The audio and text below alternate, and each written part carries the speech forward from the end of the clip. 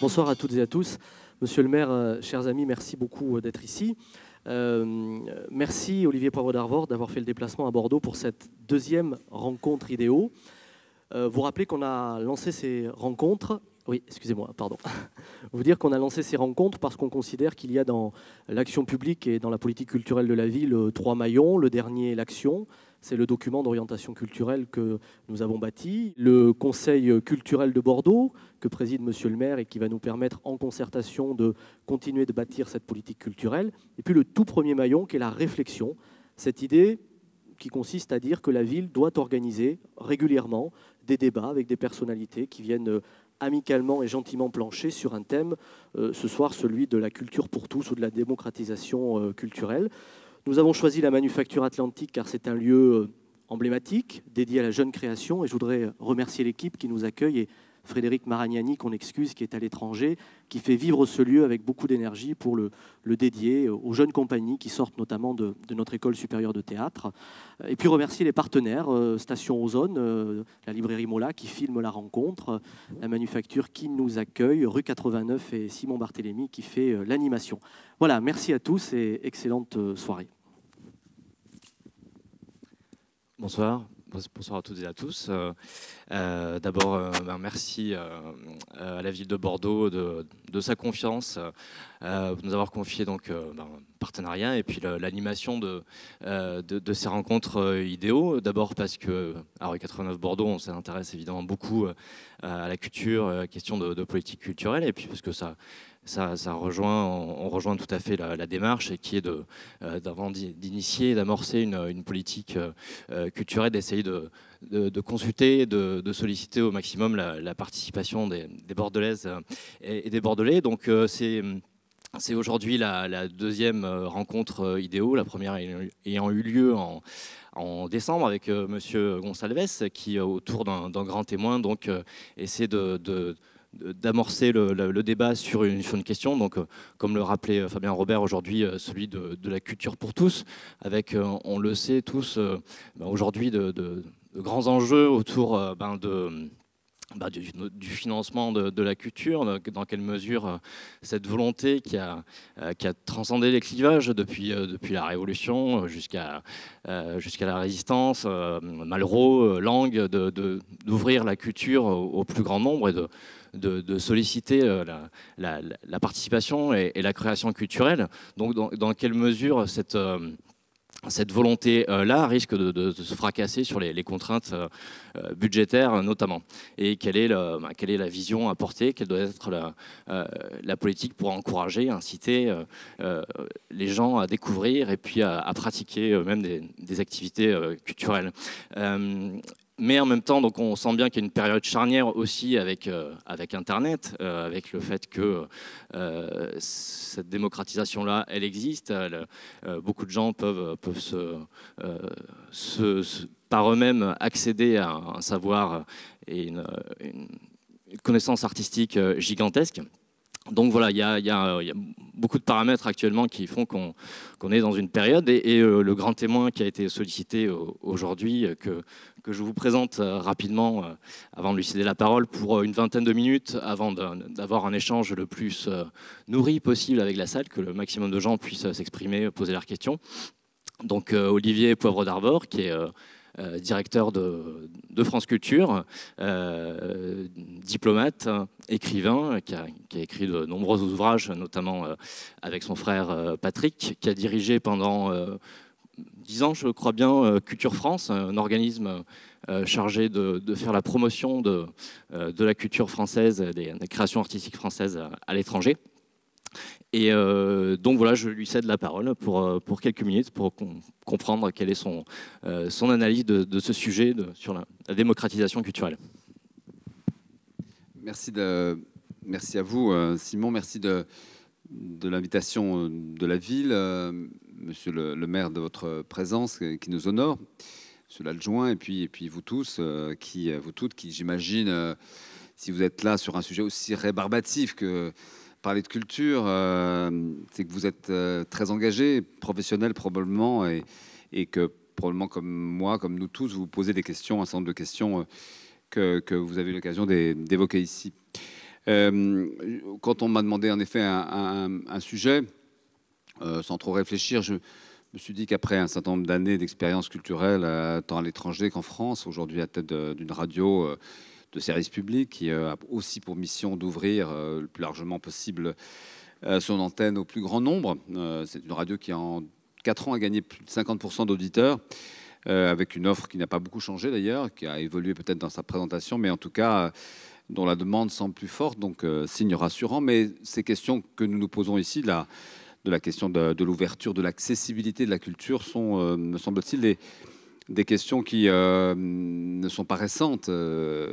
J'aurais pu vous faire tout un petit exposé sur lequel je travaille actuellement pour une université américaine sur l'histoire de la démocratisation culturelle. Tout ça commence très tôt avec Condorcet, les Lumières. Je ne reviendrai pas sur euh, tout, euh, le chemin qui nous mène euh, à Jean Zay, à Jeanne Laurent, à Jean Villard et, à d'autres figures, évidemment celle de Malraux ou, celle de, Jacques Lang. Mais au-delà des personnes qui ont pu porter, tenir des discours sur la, sur la culture, il me semble que nous sommes aujourd'hui, sans parler de, politique au sens un peu politicien du terme, nous sommes arrivés à un croisement qui ressemble à une forme d'impasse. Cette impasse, elle est euh, vous avez évoqué la question euh, budgétaire. En fait, dans le fond, euh, si vous regardez sur une courbe de 30 ans, les moyens publics pour la culture ont considérablement cru. Simplement, il, est, il, se pose nous sommes arrivés à un moment de l'histoire qui n'est pas la fin de l'histoire, pour parodier Hegel, mais où ces moyens ne peuvent pas indéfiniment croître. D'ailleurs, ça ne voudrait rien dire qu'ils croissent indéfiniment.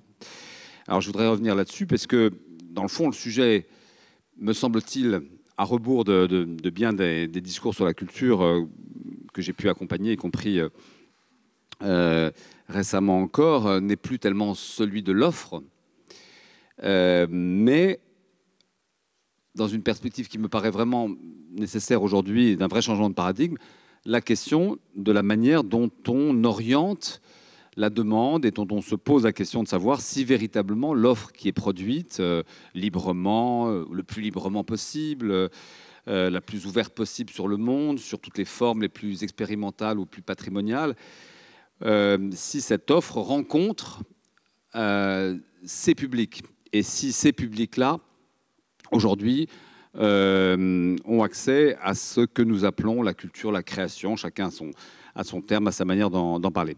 Et je crois que nous sommes arrivés, euh, malgré ou peut-être à cause des discours, puisque le discours politique sur la culture aujourd'hui est quand même très très largement, euh, je fais des exceptions, mais, mais est, quand même très porté par une série de mots vides, mots creux, démocratisation culturelle, éducation artistique. Vous les retrouvez dans tous les discours. Vous pouvez les comparer d'ailleurs. J'ai fait un petit travail pour euh, la revue commentaire sur le, des deux discours des deux candidats à l'élection présidentielle euh, de 2012, tout ça est très semblable. Le discours de Nicolas Sarkozy euh, et celui de François Hollande reprend à peu près les mêmes antiennes. Parler d'un discours de gauche sur la culture, euh, aujourd'hui, paraît, paraît relativement difficile dans la mesure où, finalement, c'est la gauche qui a réalisé le rêve libéral de baisser le budget de la culture. Donc il y a un paradoxe pour ceux qui l'ont accompagné. J'en suis pendant nombreuses années, puisque aujourd'hui, euh, malgré la promesse de sanctuarisation du budget de la culture, euh, celui-ci a perdu 7%, euh, et c'était une des grandes conquêtes de 1981, le doublement de la culture qui s'est d'ailleurs fait sur 8 à 9 ans. Et il semble que nous sommes arrivés là, où, là, là à gauche ou là à droite, ou qu'importe, dans la sphère publique, en tout cas, une sorte d'aporie et d'interrogation qui, y compris au niveau, j'imagine, local, se pose c'est comment finalement, avec une ressource euh, qui est donnée, euh, financière, euh, arriver à porter quelque chose de cohérent et qui puisse en, même temps répondre aux demandes de tous les opérateurs et tous les partenaires du sujet. Et je ne crois pas qu'on puisse dire, même si nous sommes tous convaincus que la culture joue un rôle éminent, je, vous laisserai chercher sur Internet quelle est la, personnalité politique qui avait des fonctions très hautes, voire les plus hautes, qui disait en, en 2011 que je veux que la culture je veux que la culture soit la réponse de la France à la crise économique mondiale, ceci est un peu exagéré. Voilà. Euh, aujourd'hui, c'est vrai que probablement ce pays ne serait pas ce qu'il est s'il n'y avait pas eu ces 50 années de politique publique culturelle. On peut quand même s'interroger sur le fait que pendant les 50 premières années du XXe siècle, sans ministère de la Culture, euh, euh, bah, des grands artistes, des grands peintres, Picasso, Miro, Chagall, Giacometti et tous les autres, ont, fait le tour du monde et aujourd'hui sont, sont, des valeurs très reconnues. Mais il existe aujourd'hui, c'est clair, euh, des budgets, une organisation politique, une décentralisation, un accès des œuvres euh, à un public dit large, en tout cas plein d'exceptions remarquables, le cinéma, je ne reviendrai pas sur l'ensemble de ce que vous connaissez évidemment bien, y compris en termes de soft power. Euh, en même temps, la culture aujourd'hui, le discours sur la culture est pris, en permanence au cœur de, contradictions. Première contradiction, c'est de dire que c'est l'État qui finance la culture en France. Euh, c'est faux. Euh, c'est les citoyens qui financent la culture. L'État aujourd'hui, vous savez, investit entre 7 milliards et un peu plus de, comme les collectivités territoriales d'ailleurs, mais ça représente, et on le sait, la démonstration économique est souvent faite pour, se rassurer, hein, pour se rassurer sur l'investissement public, mais vous la, vous la, connaissez, cette démonstration euh, économique, elle est réelle. Euh, ça représente aujourd'hui 10% des ménages en France. Euh, ça vient après les dépenses de logement, d'alimentation et de transport. C'est un levier de croissance, c'est un investissement prometteur. et ça représente en France 3,2% du PIB. Bon, une fois qu'on a dit ça, ça ne fait pas rêver, mais ça rassure. On se dit, ça vaut la peine de continuer à investir. 700 000 emplois salariés, euh, euh, près de 7 millions en Europe. Donc ça existe. C'est un secteur euh, professionnel avec ses revendications. On l'a vu, évidemment, on le voit tous les jours, notamment sur les sujets des intermittents du spectacle. Donc ça a une réalité économique forte. mais en même temps, ça n'est pas que ça. Et il y a tout un discours en France très fort, très français, sur cette marchandisation galopante des pratiques culturelles avec des grands groupes américains, c'est vrai, qui s'approprient de plus en plus les outils de distribution et donc les profits sur les œuvres. Euh, alors la culture n'est pas un objet de consommation, ou en tout cas on ne peut pas le dire comme tel, et en même temps ça l'est. Euh, les industries culturelles le montrent, ce n'est pas un produit, ou en tout cas c'est un produit, mais ce n'est pas tout à fait un produit comme les autres. Euh, et quand on parle de culture et dans les chiffres que je vous ai donnés, évidemment, on met le tourisme. Mais alors, le tourisme, qu'est-ce que c'est si ce n'est pas un produit souvent de consommation, euh, euh, de consommation collective Et donc, en France, nous balançons toujours en permanence entre une vision, disons, culturelle et une vision plus économique. La culture, la balance commerciale de l'autre côté, l'art et le marché, l'influence auquel on tient et les exportations. Et, nous sommes comme un pays assez persuadé euh, que la valeur d'une œuvre ne se mesure pas euh, à la vitesse à laquelle elle est consommée. Ce qui est quand même une, euh, pour qui a beaucoup vécu dans, le monde anglo-saxon, est une chose assez singulière.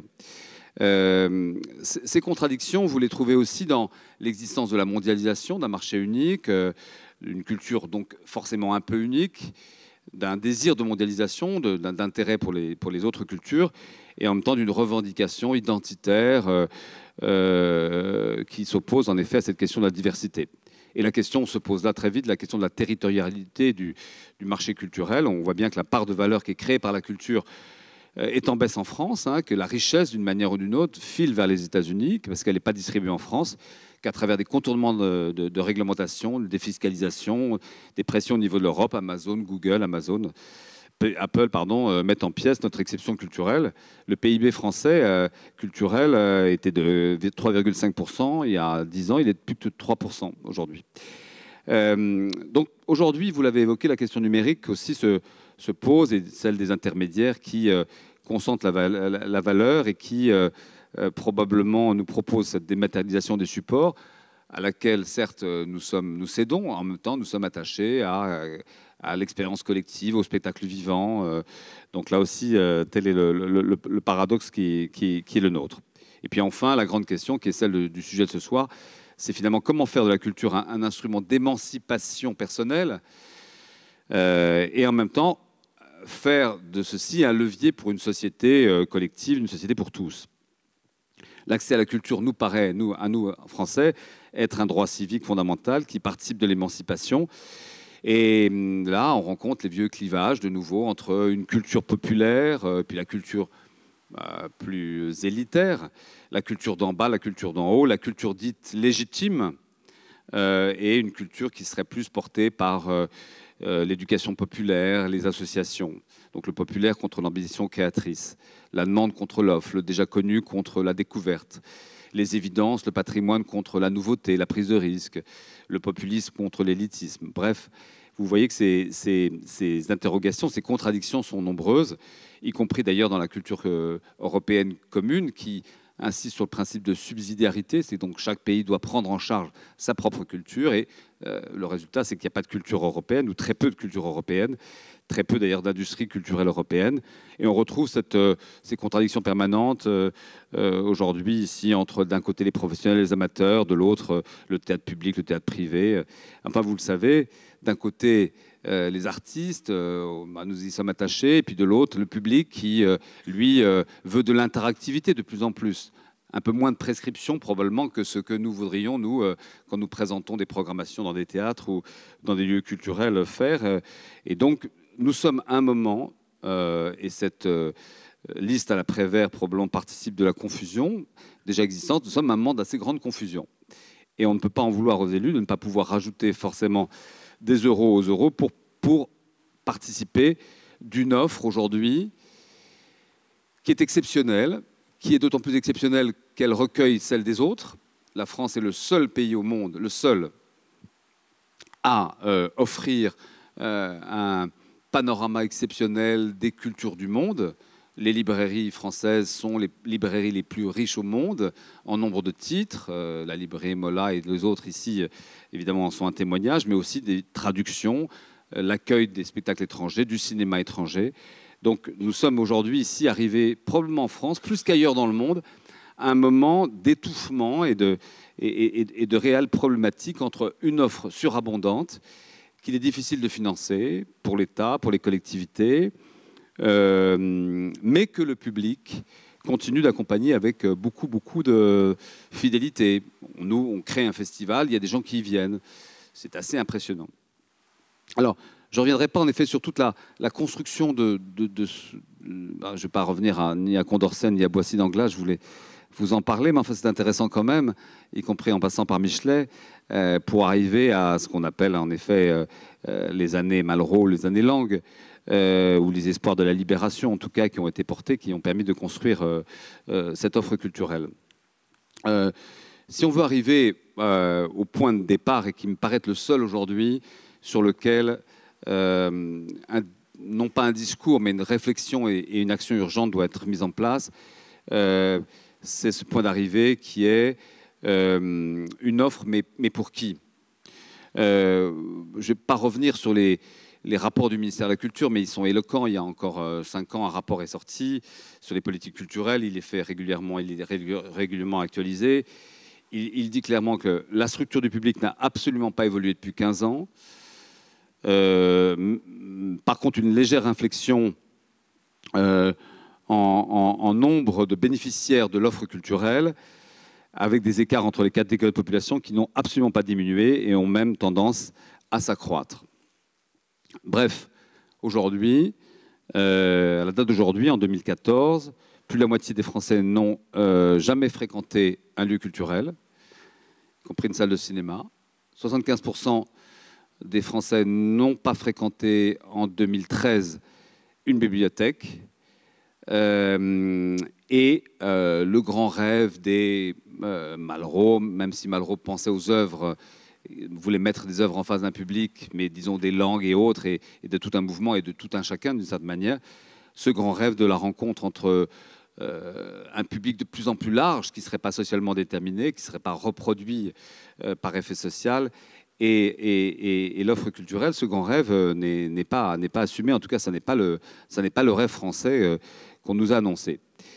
Aujourd'hui, paradoxalement, euh, la culture crée du lien, mais elle n'en crée pas plus. L'offre culturelle, quand on la regarde précisément en termes d'achat, va toujours euh, au même, qui consomme plus, mais les autres consomment toujours aussi peu, voire de moins en moins. Euh, les pratiques culturelles apparaissent à bien des égards de plus en plus clivante, de plus en plus discriminante, malgré les discours. Et on repère, selon les, catégories sociales ou professionnelles, le lieu où nous vivons, l'âge que nous avons, en effet, euh, le rapport à la culture. Les zones de profonde déculturation sont très nombreuses. Je ne reviendrai pas sur un certain nombre euh, de chiffres qui sont sur l'illettrisme, sur euh, ce que ça représente aujourd'hui en termes d'exclusion, que nous sommes vraiment très loin de cette question de la démocratisation du savoir et que, d'une certaine manière, maintenant se construisent deux mondes. Un monde très élaboré, sophistiqué, qui échange au niveau de la planète avec beaucoup d'aisance, qui va de euh, voilà, dont on retrouve quelques éléments euh, dans les grands rendez-vous d'art contemporain, des biennales et autres. Euh, et, puis, et puis un autre monde qui ne n'entend rien de tout ça, ne voit rien, ne voit rien passer, et n'en voit pas forcément les intérêts, l'intérêt. On le retrouve à l'échelle urbaine, évidemment, souvent entre les centres-villes et les quartiers, ces éléments d'exclusion. et je vous citerai juste un exemple, qui est celui que je vis tous les jours. Euh, Radio France, cette chaîne, 14 millions d'auditeurs, 14 millions d'auditeurs quotidiens, avec euh, des publics extrêmement réplicants, France Inter, France Info, France Culture, France Musique, touchent exactement les mêmes publics, ce qui représente en tout et pour tout le quart de la population française. Il y a trois quarts de la population française qui ne qui n'écoutent pas le service public de la radio, ce qui n'est pas le cas tout à fait d'ailleurs pour la, pour, la, pour la télévision, qui elle touche un spectre beaucoup plus large. Donc ça pose des questions sur cette question de hiérarchie culturelle euh, qui sont, euh, sans se mettre de la cendre sur la tête, quand même largement construites par des détenteurs d'un capital culturel euh, dont nous avons hérité, que nous avons peut-être mérité, mais que nous ne transmettons qu'à nous-mêmes, qu'à nos, nos, propres enfants ou, ou ceux qui s'en rapprochent. Euh, mais qui euh, ne permet pas euh, l'ouverture, l'ouverture au plus grand nombre. Et c'est un échec. Ça me paraît être un échec. Ça me paraît en tout cas devoir être une question qu'on se pose.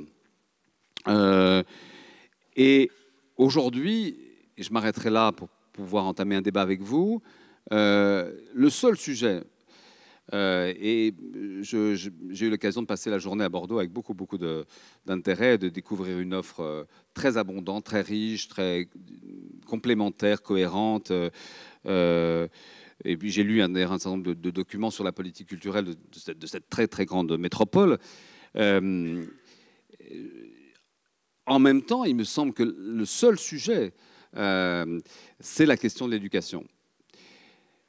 Et le seul sujet, le seul problème, c'est qu'on en parle depuis 30 ans et qu'on pourrait, quasiment euh, construire une bibliothèque avec l'ensemble des rapports qui ont été commandés sur le sujet, euh, avec des moments plus ou moins heureux. Je pense aux années 90, avec la création des classes à Pâques, le plan langue Tasca, près de 40 000 classes qui avaient été créées, aujourd'hui beaucoup moins.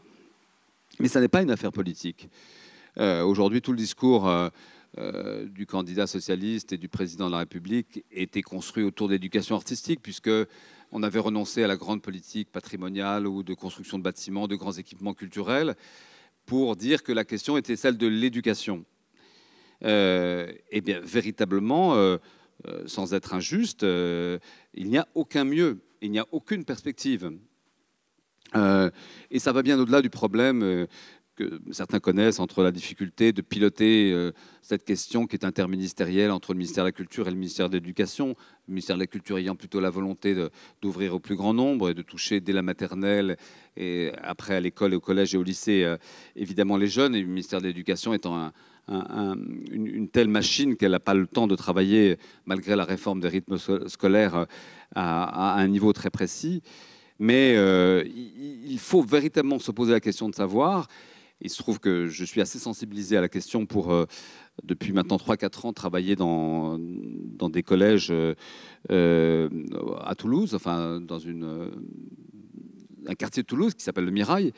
et, de voir à quel point, évidemment, tous ces jeunes que je vois, mais ils sont, ils sont très nombreux, j'imagine qu'à Bordeaux, il y en a aussi beaucoup, tous ces jeunes n'ont pas et n'auront pas l'accès à la culture. Pour certains, n'ont pas l'accès à la lecture et que donc quand on à 10 ans c'est pas déjà né, c'est pas arrivé jusqu'à eux, c'est très difficile de leur expliquer qu'il euh, faut s'intéresser aux arts plastiques, à la danse, au théâtre, aux arts du cirque, au cinéma, à la vidéo et, à la littérature, parce que cette question-là est ratée. Alors, sans vouloir tout placer sous l'angle de, ce qui s'est passé en janvier en France, euh, enfin qui n'est pas négligeable quand même, euh, et qui témoigne vraiment d'un vrai malaise républicain et d'un problème de culture. Si on pense que la culture peut être non pas une réponse, mais peut-être une manière en tout cas de, faire société, sinon d'être la réponse à la crise économique mondiale, euh, il est vrai que je pense que se crée aujourd'hui, et on est en train de le mesurer aujourd'hui avec, euh, je prépare un travail avec un, quelqu'un qui s'appelle Gilles Kepel, euh, se crée aujourd'hui, le terme n'est pas fort, il a été employé récemment, mais un véritable apartheid culturel entre une catégorie sociale assez déterminé, qui se reproduit, qui a connu les codes, qui, à travers l'école, a pu euh, avoir accès aux œuvres, la sensibilité, se construire, s'épanouir, tenir un discours sur la culture, euh, y participer, euh, et une autre partie de la population grandissante, pour qui tout ça n'a pas du tout d'écho, que la culture probablement que nous véhiculons aussi, qui peut être largement une culture assez littéraire classique, n'est pas exactement celle qui correspond à, à leurs propres euh, valeurs, mais que cette question-là, elle est centrale. Et que dans le fond, euh, avant de continuer à parler de l'offre et être extrêmement sophistiqué dans notre politique euh, culturelle publique, il faudrait, il faut absolument s'arrêter, comme dans les méditations de Descartes, reprendre le cogito, le cogito ergo sum. C'est quoi le cogito? Le cogito, c'est de s'adresser à, c'est de savoir qui sont les bénéficiaires de nos politiques culturelles et d'essayer, par l'éducation et un plan extrêmement actif, qui devrait être le grand sujet, le grand sujet culturel des années à venir, euh, de remettre dans le champ éducatif euh, l'apprentissage aux arts, l'apprentissage, la compréhension des médias et d'autres. Il ne s'agit pas uniquement de parler de musique ou d'art plastique, de la, la, bonne vieille flûte à bec d'hier ou d'avant-hier, enfin qu'elle existe encore aujourd'hui, mais de voir comment, en effet, euh, je pense dès la maternelle en l'occurrence, pas uniquement le collège, c'est trop tard, on peut permettre euh, aux plus jeunes, quel que soit leur milieu, quel que soit leur milieu, parce que l'école reste encore le dernier endroit euh, d'ouverture, après c'est trop tard, où tout cela, d'une manière assez fraternelle, pourront avoir accès à, ces œuvres dont nous savons la valeur, y compris la valeur économique, puisque c'est comme ça que j'ai commencé mon petit topo. Voilà.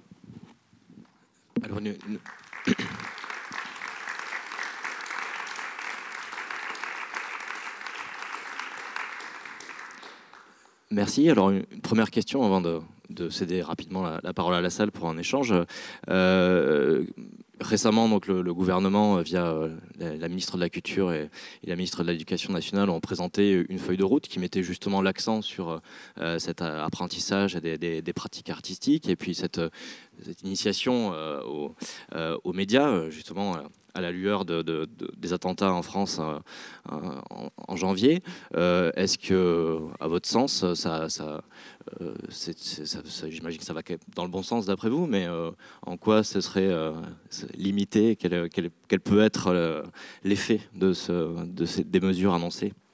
Ça, c'est comme le printemps, si vous voulez, le pollen. Ça, revient tous les six mois. Euh, euh, non, très honnêtement, je connais un peu euh, le contenu de, ce qui est prévu. C'est rien, par rapport à ce qui a été évoqué. c'est totalement cosmétique. et ce qui devait être, ou doit être en tout cas, le centre d'une politique culturelle aujourd'hui, c'est-à-dire en effet le sujet de l'éducation, de qui a accès à, ne trouve absolument pas une réponse à travers des plans d'urgence pensés régulièrement tous les, tous, les, tous les six mois ou tous les deux ans euh, euh, depuis maintenant 10-15 ans. Il n'y a, pas un ministre de la Culture et un ministre de l'Éducation qui n'ont pas signé euh, devant des médias et devant des photographes une convention sur l'éducation artistique. Alors il y a quelques espoirs en effet qui sont liés à la réforme des rythmes scolaires, mais tout ça est extrêmement marginal. Ça n'est absolument pas porté et certainement pas, je pensais à la fin de deux ans à la fin d'un quinquennat, ça ne peut pas représenter quelque chose qui serait une réalité tangible. C'est vraiment un sujet sur lequel euh, les Français parlent beaucoup, à la différence des Allemands qui, eux, ont vraiment travaillé là-dessus, ou notamment l'éducation musicale, ou y compris d'ailleurs euh, au Royaume-Uni, que je connais assez bien, où ces sujets-là sont, beaucoup plus, euh, sont beaucoup plus pris au sérieux. Alors, à quelles conditions ce que vous préconisez pourrait fonctionner? Est-ce que quelles que soient les mesures, elles ne risquent pas de se, fracasser sur, bah, sur, vous parliez d'apartheid culturel, sur bah, la, fracture sociale qui, est toujours là, qui s'accroît avec la crise. Et fracassons-nous, c'est important. Enfin, euh, voilà, euh, affrontons les, posons-nous les bonnes questions et euh, allons là où ça fait mal.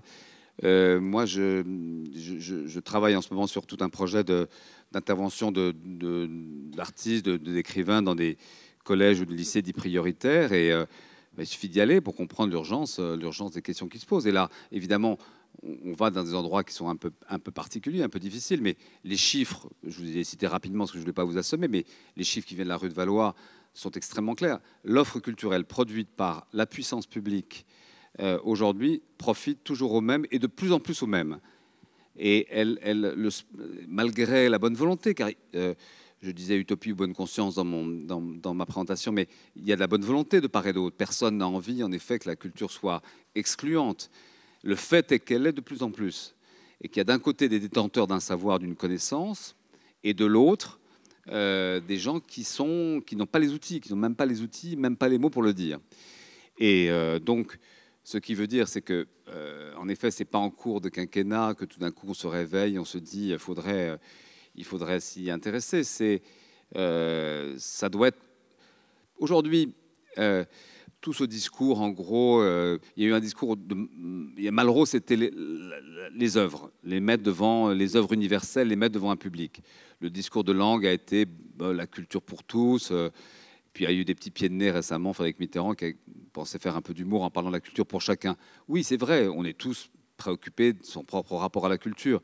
Mais au-delà des mots, aujourd'hui, le seul sujet, vraiment, je l'évoque, euh, enfin je, le répète, c'est un, plan qui soit très ambitieux dans, d'abord dans la formation des, maîtres, hein, dans les UFM, l'ensemble des, formations des, enseignants, dans les rythmes scolaires et surtout dans la, probablement dans l'extrascolaire, dans la possibilité de trouver des temps qui vont permettre à, des enfants défavorisés, car ils sont euh, très nombreux, d'avoir accès en effet à, la lecture certainement, mais, euh, à la musique, euh, à la compréhension d'une œuvre, euh, au musée. Et on ne peut pas reprocher aux opérateurs culturels de ne pas être préoccupés par ça. Ça, je crois que beaucoup de théâtres, je, je sais que beaucoup de musées ont des services éducatifs extrêmement actifs. Mais c'est un peu poussière parce que ça touche quand même des, des, petites fractions de public. Et je pense qu'une partie des moyens, en tout cas, si on devait recomposer l'action de la rue de Valois et l'action culturelle, devrait porter sur la création d'une sorte de mission interministérielle ou d'un organisme qui aurait, euh, euh, qui aurait vocation à euh, susciter des actions, des formations et des programmes qui impliquent les parents, les, professeurs et les, et les, enfants.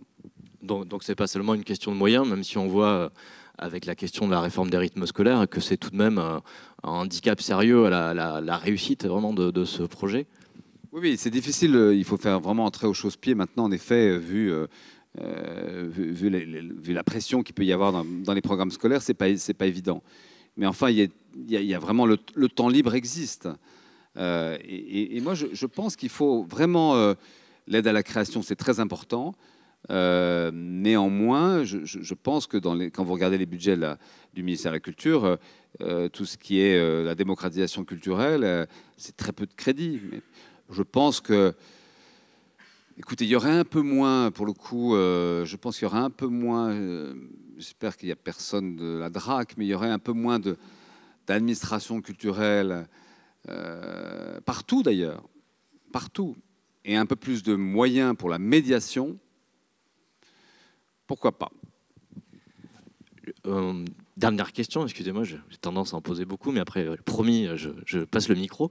Euh, puisque vous parlez de, DRAC en matière de, euh, décentralisation, est-ce que vous, observez des, bonnes pratiques? On a tendance à, être assez jacobin en France et beaucoup de politiques se déterminent, soit la question des intermittents, des prix uniques du livre, etc., au niveau, au niveau de l'État. Mais vous, vous, voyez des, choses intéressantes qui, se font dans, dans, les grandes villes les régions françaises ah, D'abord, il n'y a, que des choses. Enfin, tout ce qui se fait d'intéressant est fait euh, dans les grandes villes. Euh, ça, c'est évident. Ce travail est fait. Je pense que, évidemment, il y a des élus plus ou moins engagés, mais, mais quand même partout. Ça, c'est cette affaire-là, réussie, elle est évidente.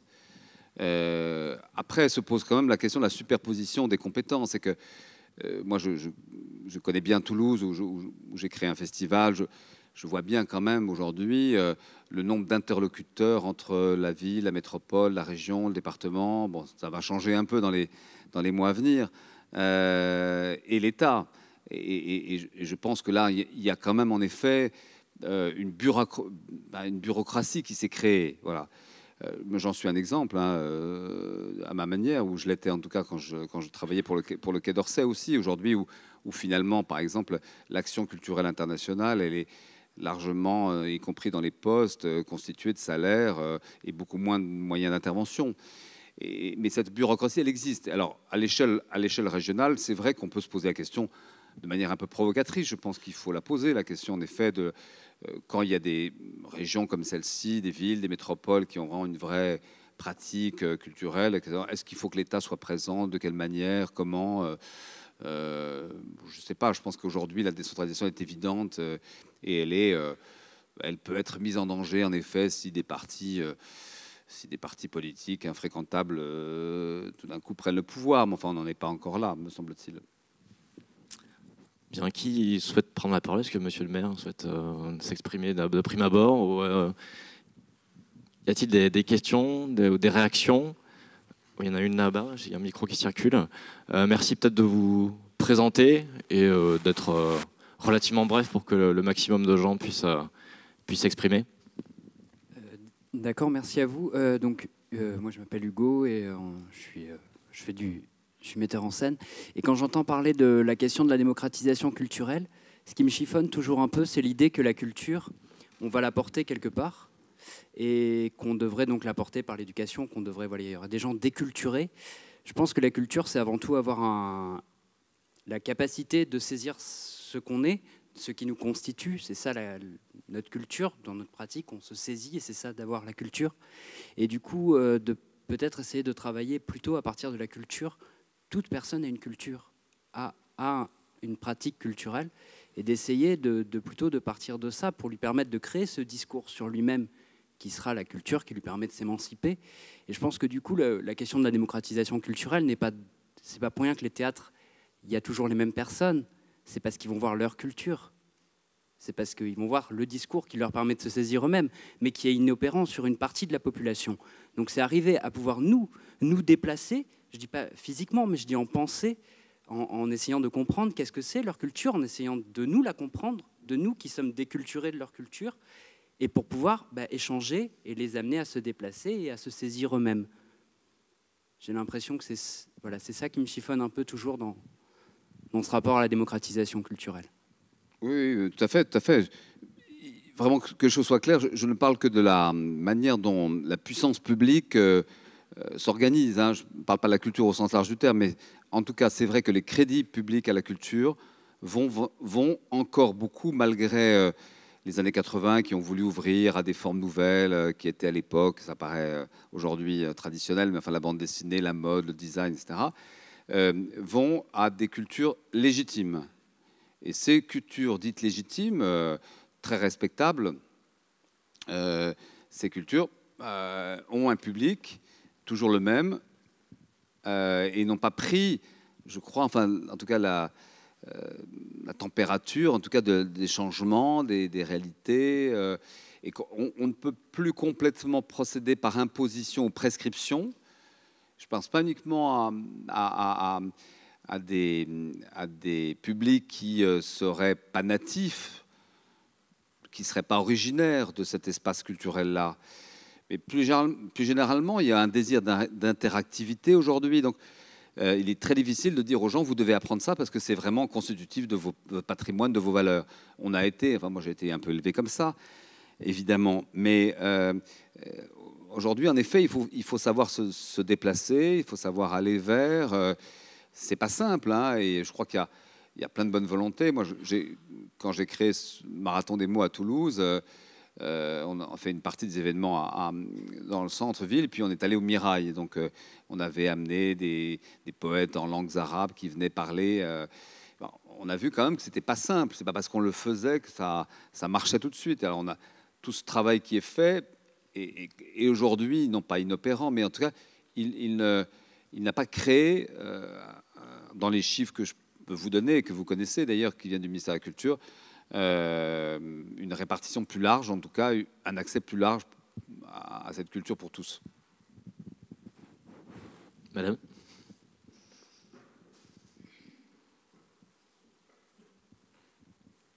Bonjour, merci. Véronique Pommier, créatrice du Bus des Curiosités. Pour ceux qui ne connaissent pas, son concept, c'est prendre un public et n'en connaît ni la destination ni le contenu. Et c'est justement aller vers une destination, vers découvrir une œuvre, quelle qu'elle soit. Sur ce, je vais juste vite fait parler de mon expérience parce que ça va vraiment par rapport à votre discours. Euh, c'est vrai qu'on est un pays très cloisonné, très enfermé. Et comme vous dites, moi je dis la population télérama-camif dans les lieux culturels.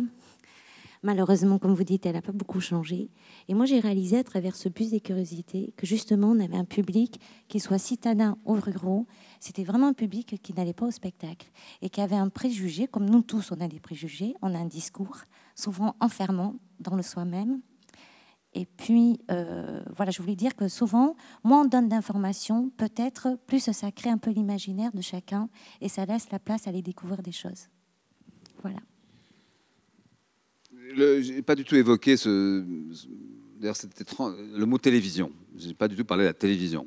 On parle du numérique, mais enfin, on oublie, une chose qui s'appelle la télévision. Et dans, quelques heures, je pense qu'on aura le nom du prochain, prochain président de la France Télévisions, euh, si ce n'est déjà fait. Ah, c'est Madame Ernotte, Delphina. Euh, en tout cas, merci de l'information. Euh, il faut juste savoir qu'une une soirée, une bonne audience d'une soirée de télévision, sur le service public, ça peut être 5 millions de, téléspectateurs, c'est-à-dire c'est 8 ans de programmation en nombre de publics, ça ne veut pas dire grand-chose, mais enfin quand même, de la comédie française. Donc c'est quand même efficace la télévision, enfin ça pourrait être efficace. Et là, là il y a quand même quelque chose qui, euh, qui aujourd'hui n'est plus pensé. Donc on a tendance à penser que la télévision fait pas assez, on râle toujours, notamment s'appliquant au, au, service public. Mais il y a certainement là quelque chose à travailler, euh, à retravailler, euh, avec un cahier des charges qui sera certainement un peu plus précis de la part de, de, la tutelle, qui pour le coup est le ministère de la Culture, car vous avez quand même là un instrument d'éducation assez massif qui est assez extraordinaire. Et il faut certainement se dire, en effet, que si on peut toucher 5 millions de personnes, et, avec, pour le coup, à la différence de Radio France, un spectre social beaucoup plus large, en tout cas, euh, il y a quelque chose qu'on doit ici, au-delà de l'école, il y a en gros les trois vecteurs aujourd'hui sont l'école, euh, le numérique, la toile et, la télévision ou les médias au sens large du terme. Mais là, il y a sûrement quelque chose qu'il faut explorer. En même temps, si je peux me permettre de, vous relancer là-dessus, on voit bien, euh, notamment depuis euh, l'apparition de, la TNT, qu'il euh, y a plutôt une tendance du public à regarder D8, Touche pas à mon poste ou d'autres émissions comme ça que, Arte, bien que son audience progresse. Vous-même, depuis votre, votre expérience à France Culture, comment vous, vous avez le sentiment qu'on peut toucher vraiment de nouveaux publics? Moi, je pense qu'il faut nous, on y, arrive. Euh, oui, on a, on, a, eu 50% d'augmentation de public parce, qu'on est, parce que probablement on a essayé de donner notre image de la chaîne. Mais au-delà de, ce simple exemple, je pense qu'il ne faut surtout pas dire que Arte, c'est très important. Hein, mais il ne faut surtout pas se dire que c'est là notre bonne conscience culturelle et que. Euh, donc, non, c'est, c'est, euh, alors pour le coup, France Télévisions, c'est un vrai grand sujet.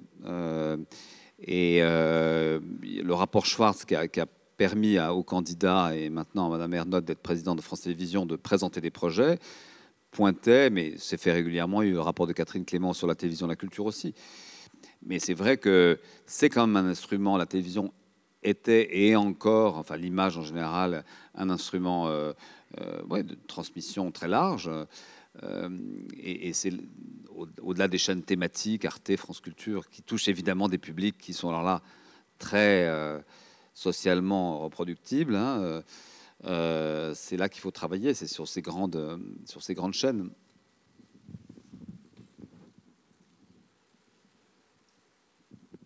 D'autres questions? Oui, madame. Monsieur, pardon, Oui, bonjour, Philippe Meyer, artiste sculpteur au, euh, au Vivre de l'Art. Donc, je voudrais simplement souligner quelques petits détails dans ma pratique quotidienne aussi. Euh, je, pour rebondir à ce qui a été dit avec Hugo et Madame Président, enfin juste avant, personnellement, je pense que la culture est quelque chose d'assez difficile à manipuler pour beaucoup de personnes, parce que j'ouvre régulièrement mon atelier dès qu'il y a des visiteurs pour justement montrer, faire venir les gens à nous-mêmes. Nous avons la chance au Vivre de l'Art d'être sur une, place publique avec une vingtaine d'artistes tout autour. Et le grand problème que nous avons, que nous rencontrons, est que les premiers mots que le public dit est je ne comprends rien à l'art. Je n'ai pas la culture pour comprendre, je n'ai pas accès. Seulement, plusieurs choses sont, à faire. C'est à l'artiste aussi de, se déplacer, d'aller apporter cette culture-là à tout le monde. C'est un des gros problèmes que, que nous avons, c'est que nous autres artistes, on a plutôt tendance à être dans notre propre caverne et à ne pas forcément aller vers, vers les autres. Même, même si réellement, je crois que euh, là aussi, il ne faut pas se verser de, la, de, de sur la tête. Je, je crois que euh, nous tous, les, les, créateurs, les opérateurs culturels, ont, ont, une bonne volonté considérable et ont envie d'aller chercher des nouveaux publics, euh, évidemment. Mais vraiment, je réinsiste là-dessus. Si, si euh, quand Roosevelt a inventé le New Deal et ce qui s'appelait l'acte Federal One euh, dans les années 30, comme réponse à la crise d'ailleurs, en passant des commandes à des artistes pour faire des portraits de l'Amérique, des grands peintres et, à des grands cinéastes euh, à qui il a commandé des films, y compris en faisant venir des, cinéastes de l'étranger qui, qui quittaient l'Europe pour des, pour des mauvaises raisons, hélas. Euh, je pense qu'il faut une sorte de New Deal à la française et qu'il y ait un acte un peu fort et que cet acte-là, dans le domaine culturel, il est euh, il n'est pas de dire aux artistes euh, ayez mauvaise conscience parce que vous touchez pas les bons publics ou vous êtes dans votre création, c'est un peu logique ça, mais c'est véritablement de euh, ces personnes dont vous parlez qui disent ne pas comprendre euh, quelque chose à l'art, c'est parce que c'est trop tard pour eux. Et que dans le fond, quand vous avez eu accès chez vous à un livre ou à des images ou, au langage ou aux mots, et quand vous avez 10 ans, ça c'est encore possible, mais quand vous avez 12, 13, 14, 15 ans, c'est trop tard. Et c'est trop tard pour toujours. Hein. Euh, donc euh, il faut véritablement agir là, à cet endroit-là. Et ça, on l'a jamais vraiment fait. Pardon. C'est pas parce que vous, vous n'êtes pas bon à l'école ou que vous êtes rejeté que vous n'arriverez jamais à rien. La culture, c'est la même chose. C'est pas parce que vous ne savez pas lire ou que vous n'êtes pas intéressé à 12 ans qu'à 40 ans ou 50 ans, vous n'allez pas vous y intéresser. Peut-être qu'il faut euh, ouvrir des portes et essayer de les comprendre. Absolument. Pourquoi aujourd'hui, euh, il y, euh, y, y, a des choses qui marchent à la télévision? Parce que justement, ils répondent à un public et ils répondent à une demande. Quand vous voyez tous ces gens qui s'intéressent par exemple à la cuisine qui se fait aujourd'hui, c'est une sorte de culture. Avant, personne ne voulait entendre parler de la cuisine. Pourquoi? Ben, Est-ce qu'on ne peut pas prendre des exemples là-dessus pour essayer peut-être d'aller plus loin et de comprendre? Vous avez des gens, ils ne comprenaient rien à la cuisine, ils ne savaient rien faire, et aujourd'hui, ils savent faire de la cuisine. Et on peut peut-être aller plus loin. Absolument. Je, vous rappelle que moi, je vous parle que de l'action publique et des, moyens publics. Hein, et donc, euh, mais je partage tout à fait votre point de vue. La, cuisine n'est pas encore complètement perçue comme étant euh, un objet de culture légitime pris en charge, subventionné par... Euh, voilà. Mais vous avez raison, bien sûr. Il n'y a pas de Top Chef sur France Culture? On a une mission, on a une mission de gastronomie, ouais, maintenant. Oui, bonjour monsieur. Pierre Voisin. Euh, pardon, vous, où êtes-vous? Oui, monsieur, monsieur. Quel micro? Allez-y. Après, oui. Allez-y. Oui, oui. Euh, Pierre Voisin, je, disons que j'ai 72 ans et j'ai 11 petits-enfants. Et actuellement, j'en accueille un qui est en quatrième et à qui son professeur a dit euh, bah, Vous lisez l'avare et puis vous me ferez le résumé et on en parlera. Pour moi, c'est évident, j'avais lu l'avare en quatrième. Et je ne veux pas dire, attention, que la, culture, ça se limite. Euh, aux classiques du XVIIe siècle. Mais je m'aperçois que mon petit-fils, il a commencé à lire les, trois premières répliques. C'est dans un français soutenu, puisque effectivement, c'est le côté bourgeois du, théâtre. Il y a d'autres scènes qui sont plus faciles, mais il a dit, moi, je ne pourrais pas lire ça. Et donc, tous les soirs, on fait une séance de lecture et je lui explique en même temps quelques mots. Et on se paye à peu près un acte par soir, comme il y a cinq jours de vacances. Normalement, on devrait avoir fini. Mais ce qui m'inquiète, c'est que, en fait, là où je vous rejoins complètement, il va quand même, il finira par sortir de, troisième, euh, du moins de quatrième, il rentrera en troisième, il aura sauté la VAR, il aura euh, complètement, je ne parle pas d'Andromaque et des autres, euh, je ne dis pas que c'est indispensable, je ne dis pas qu'on ne peut pas remplacer ça par Master Chief, hein, mais quand même, là où vous dites c'est irrémédiable, j'en suis maintenant de plus en plus convaincu. Et c'est un peu là où je dis l'éducation euh, aujourd'hui ne reprend pas, le, si vous voulez, l'objectif culturel et euh, la, oui, ce que j'appellerais l'objectif culturel qu'il y avait dans l'apport des connaissances? Même si je suis bien d'accord, la culture, c'est pas les connaissances, c'est l'attitude devant les connaissances. Mais quand on n'a plus aucune connaissance, on a beaucoup de mal à se faire une attitude devant les connaissances. Et on ira toujours passer devant les livres de l'art en disant Mais qu'est-ce que c'est que ce bordel? C'est nul. Voilà. Autre question Monsieur avait demandé, puis ensuite la dame derrière.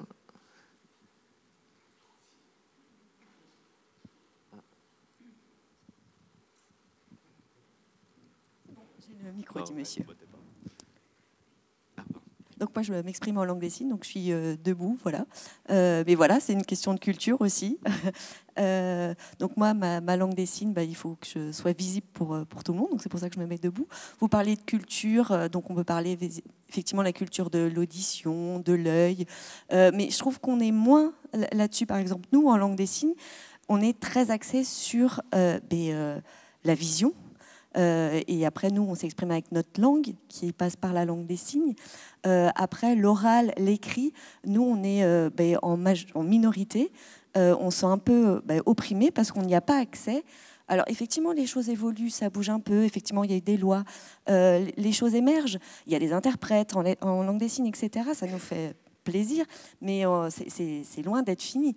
alors moi, je, viens de, Paris. Je, suis venue m'installer Bordeaux et j'ai vu mais, la, différence, toute l'activité qu'il y a à Paris, qu'il n'y a pas encore sur, euh, sur Bordeaux.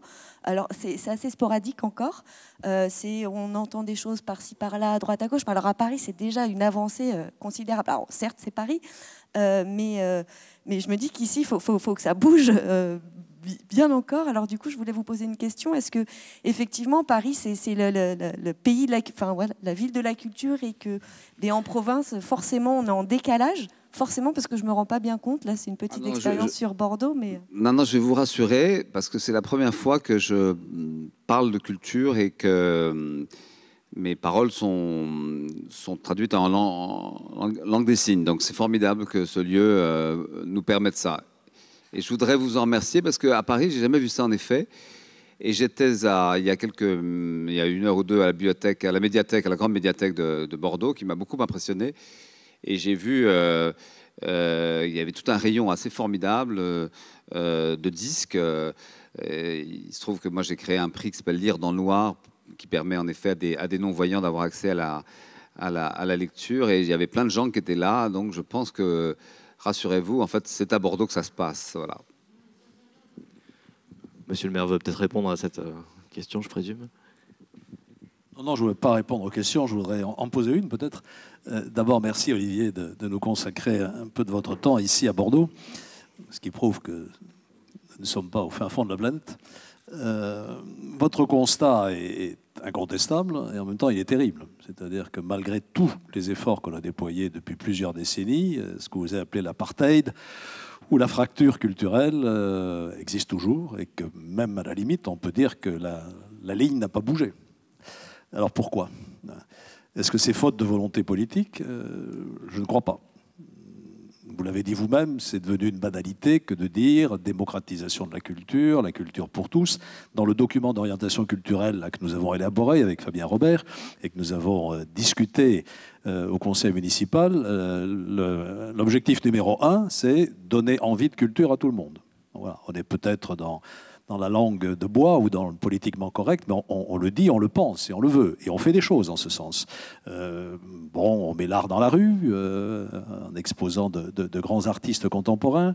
tous nos établissements culturels ont des actions en direction du jeune public scolaires, au CAPC, mais pas que, au musée d'Aquitaine.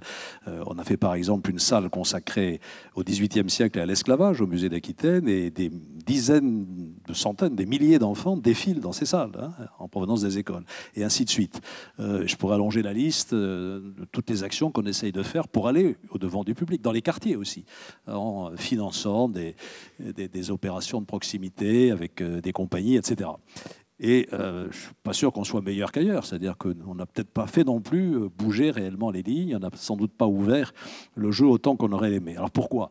Euh, Je me demande si, si le problème, ce n'est pas celui de l'offre culturelle. Vous avez dit qu'elle était surabondante. Mais est-ce qu'elle est adaptée? Et alors, le problème de l'offre, ça pose à son tour deux questions. Une qui m'inquiète beaucoup, c'est le, le contenu même de l'offre. Est-ce qu'il faut l'adapter au public? Hein? Pour euh, rencontrer davantage ses attentes. certes, Molière a dit la grande règle, c'est de plaire. Donc euh, on peut effectivement se fixer ça comme objectif. Est-ce qu'il n'y a pas un risque de tirer les choses vers le bas? Moi, je ne me résigne pas à renoncer à euh, communiquer un certain nombre de grands textes de la littérature classique, française ou mondiale, à nos enfants. Il ne faut pas renoncer même si c'est difficile. donc je pense que la voie, elle n'est pas là. Donc la deuxième question, c'est la méthode pour transmettre l'offre. Et c'est peut-être la question, est-ce qu'on utilise les bons vecteurs? Euh, Donc il y a les établissements culturels classiques, euh, où ne vont finalement que les habitués. Moi je partage tout à fait ce que vous avez dit sur la télévision. Euh, il ne faut pas être non plus trop masochiste. L'offre de la télévision publique française n'est pas si mauvaise que ça. Ils font des choses bien et qui touchent des, millions de, de, téléspectateurs. Donc il faut continuer dans cette voie, sauf que j'ai chez moi une adolescente de 19 ans, l'écran de télé c'est fini. Alors peut-être qu'elle regarde la télé sur sa tablette, mais enfin, il faut aussi, troisième vecteur, le numérique. Et je pense que vous n'avez pas parlé assez des possibilités que, cela donne. Et puis enfin, quatrième vecteur, l'école, et là je vous rejoins totalement, avec quand même quelques points d'interrogation, parce qu'aujourd'hui, quand même, euh, l'objectif numéro un de l'école, c'est lire, écrire. C'est lutter contre ce taux d'illettrisme absolument inacceptable que nous avons en sixième. Et là, je ne partage pas tout à fait ce que j'ai entendu, ça commence à la maternelle. Ça commence à la maternelle en réalité. C'est là qu'il faut commencer à, transmettre euh, le langage, l'écriture, etc. Il y a des expériences qui ont été faites en ce sens qui aboutissent à des résultats spectaculaires. Alors, est-ce qu'il y a encore de la place dans ce cursus-là pour les enseignements artistiques? Je pense que oui, hein. euh, mais il faut bien voir que ça rentre souvent en, compétition avec euh, le socle de base qu'on essaye de transmettre. On ne peut pas tout demander à l'école aussi. On demande à l'école d'initier nos enfants à l'environnement, de les initier euh, aux faits religieux, de les initier euh, à l'instruction civique, etc. etc. Bon, euh, il faut aussi à un moment donné faire des choix dans ce domaine. Enfin, dernier point, les rythmes scolaires. Est-ce que ça contribue à l'objectif que nous poursuivons tous? Il faut bien voir la difficulté de la chose. À Bordeaux, on a fait une heure et demie consacrée au rythme scolaire dans les écoles élémentaires. Et là, on essaye de les consacrer à ce que j'appellerais des activités de nature culturelle. On amène les enfants dans des musées. Euh, euh, Fabien Robert pourrait en parler plus savamment que moi. On essaye même de le faire dès l'école maternelle. Alors, on bricole un peu. C'est vrai qu'à l'heure du déjeuner, on leur fait faire euh, du dessin, du chant, etc. Donc c'est un essai, mais ça reste effectivement tout à fait marginal. Voilà un, peu, si vous voulez, les réactions que je voulais avoir à, votre constat qui, évidemment, pour nous, et d'une certaine manière le constat d'un échec. Hein, et on a du mal à l'accepter parce qu'on voudrait que ça marche et que ça bouge. Oui, en effet, non pas que je l'ai noirci, parce que je, crois qu'il est celui-là, en tout cas, bon, j'ai un travail beaucoup plus détaillé de mesures euh, sur, en effet, l'offre culturelle.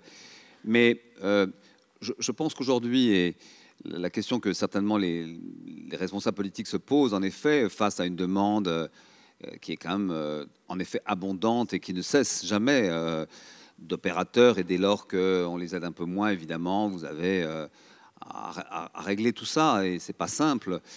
Et cette offre, elle ne va jamais cesser. Il faut se dire qu'elle ne va jamais cesser, elle, ne fera que croître. Elle ne fera que croître que parce en partie parce qu'elle est, à la différence d'autres pays, et je ne souhaiterais pas y vivre, et j'aime ce modèle culturel, et c'est le nôtre, et, nous vivons avec, et tant mieux mais parce qu'il est accompagné par l'État et par les collectivités. Donc dès lors qu'il y a une incitation, bah, les gens se disent euh, pourquoi pas moi? Et, donc euh, voilà, ils créent une offre supplémentaire. Bon, c'est un peu tabou, euh, y compris quand on vient de l'endroit où je suis un peu politiquement, de dire que l'offre culturelle est un peu surabondante, voire trop surabondante. Que je pense qu'aujourd'hui, après cette, cette, grande période de la décentralisation, Jeanne Laurent, de la démocratisation, de l'ouverture, de la question des équipements culturels, euh, car aujourd'hui il y a trop, oui, il y a trop d'équipements quand même. Il y a trop d'équipements parce qu'il y a, il y, a, les anciens équipements, il y a ceux qu'on a créés qui ont 20 ou 30 ans, et puis il y a toute la réhabilitation du patrimoine, toutes les friches, Aujourd'hui, il n'y a, plus un, élu qui n'est pas interrogé sur la manière dont on va repenser cette friche, dont on va euh, faire de l'abattoir, de l'ancienne manufacture. Bah, ici, d'ailleurs, c'est très bien. Enfin, c'est un vrai sujet. Voilà. Mais euh, on ne pourra pas en permanence euh, donner des contenus culturels à. on parlait d'une base de sous-marins, vous avez en fait quelque chose de très très bien à Bordeaux. Moi, j'ai le problème à Lorient euh, je m'occupe des questions maritimes aussi. Bon, donc aujourd'hui, cette question des équipements, elle paralyse quand même beaucoup, beaucoup, beaucoup, avec les frais de fonctionnement afférents, la, capacité d'orienter la politique culturelle. Et si on veut avoir une politique culturelle aujourd'hui, si on veut l'affirmer clairement, et c'est quand même, ça sera difficile d'avoir beaucoup d'opposants à ça. Autant quand vous baissez les subventions, là, vous avez évidemment beaucoup de gens qui râlent. Mais si vous dites, et si on affirme de manière claire qu'on doit faire un gros travail sur l'éducation, euh, qu'en effet aujourd'hui le système éducatif, il est, euh, pas par nature, mais par réalité, très excluant et qu'il produit d'un côté une culture légitime et d'autre des espaces de culture euh, non, reconnus en tout cas. Ils existent, hein, mais non reconnus. À ce moment-là, des idées apparaissent. Beaucoup d'enfants ne partent pas en vacances. En effet, c'est vrai que les, rythmes scolaires sont, sont tels qu'on ne peut pas rajouter, rajouter.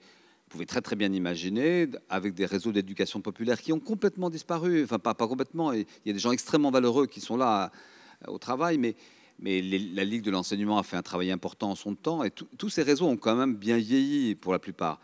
Ben, on peut très très bien imaginer que pendant un mois, vous offrez à, à, des tas d'enfants euh, l'occasion d'aller travailler dans un festival de théâtre et de voir ce que c'est que l'expérience théâtrale. Vous pouvez le faire à, à l'échelle de toutes les activités culturelles.